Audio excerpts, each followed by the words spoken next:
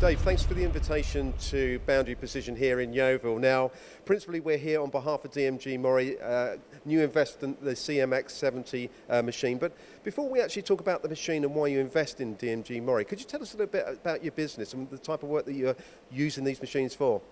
Yeah, so uh, Boundary Engineering is a family-run business. It was established in 1982. We predominantly do aerospace work. We are looking to deviate away to different sectors at a similar level of quality, I would say. We have quite a variation of machines, varying from a 300 mil envelope on a machine right up to a 400, four and a half meter bed. So it gives us a good variation on the parts. We also specialise in some of the fast turnaround work for some of our customers.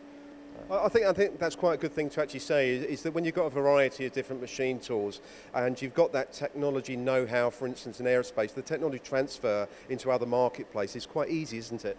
So yeah, with the high standards expected from the aerospace industry, we can then follow that across to other sectors. And I think with such a high demand on different product with the aerospace, it gives we do have that skill and knowledge in very varied components. And, and also look, looking at some of the components uh, on the bench over here, you know, the, it, it's quite hard materials that you're machining as well. It is, yes. We are specialised mainly in aluminiums. We do quite a variation of titaniums and stainless steels.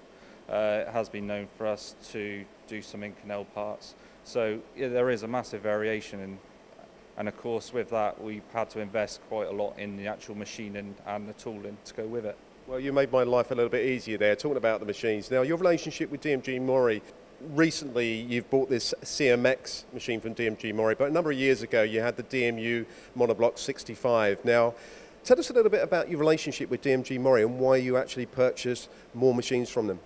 Yeah, so when we originally bought the monoblock, that gave us kind of like a window into the titaniums, I would say, because of it's such a rigid machine.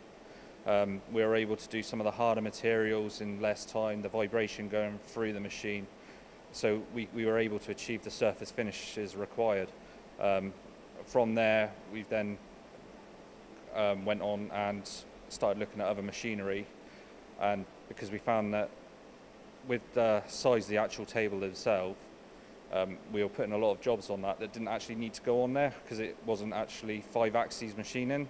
Uh, which is why we went to go look on at the CMX70. So with the CMX70, it's a 3 plus 2 machine. So we were able to take some of the parts that weren't full 5 axes machining away from the monoblock and free that one up. So we were able to achieve more of our on-time deliveries.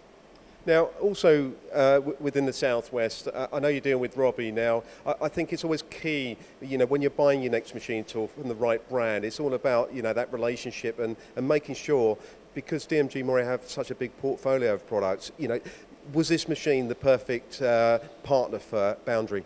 It was, yes. Um, so when I first talked to Robbie, he came in and I explained the situation and kind of what we were facing, and he then went away, came back to me again, and gave me like an option, and from there I, I wouldn't go back. It's no regrets.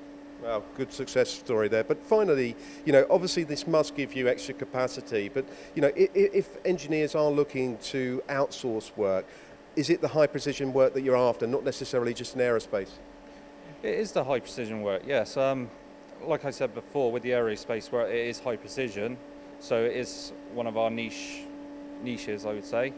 Um, but we do such a variation in product. We're happy to look at anything, really. Well, seems like another UK success story and obviously a great partner with DMG. All right, thanks very much indeed. Thanks, Dave. Thank you, Mark.